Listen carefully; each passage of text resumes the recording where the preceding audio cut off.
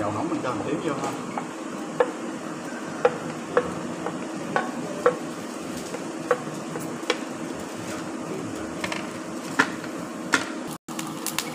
mình cho đầu hành vô ha.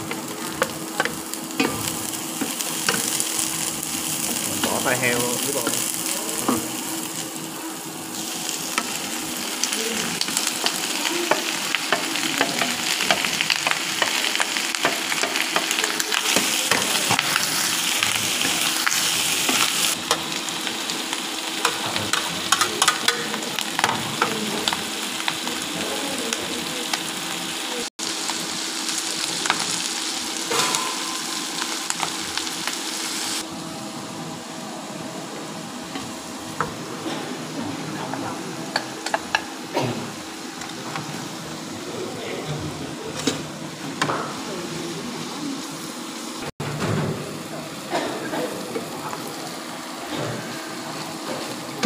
Ở đâu? nó chắc tay thì nó sẽ mình ép xong mình bỏ tủ lạnh thôi là phải mua cho biết quá rồi Ừ, vậy là phải có cái bọc hả thầy? mình bảo tủ mát ở mấy tiếng rồi Nãy thầy không có- được. khoảng chừng 3 tiếng Ba 3 tiếng. được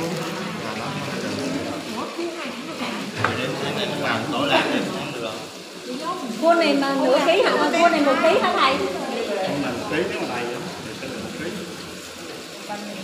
Về mua cái khuôn này cái cà men đó lấy tay mình ấn tượng mà lòng bọc ra này ép hả Cà men thì nó hơi mỡ giống như vá xe đạp vậy đó. Vá xe đạp sao không biết đó cái này là nhẹ nhàng không mất sức nè trung tâm anh ơi em không biết. Hả mày biết hả đó mình canh nè khi mình ném mình thấy nó xì cái nước nè. Có thể là mình chọt đây cho nó ra cái nước mỡ nó bớt ha. Nước mỡ trong đây. Những cái lỗ nè mình sẽ chọt nhẹ vô để cho nước mỡ nó ra bớt đi trong đây. Còn chọn sau đây.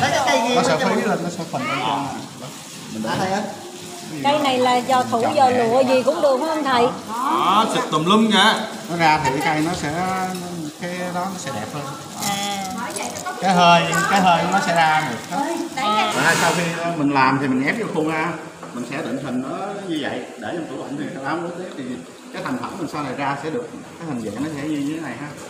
Còn ở đây là cái khuôn mà để làm thì mấy bạn mà muốn liên hệ mua này thì dụng cụ hoài long ha. Ở đâu rồi thầy? Dụng cụ ở Rosa ha À.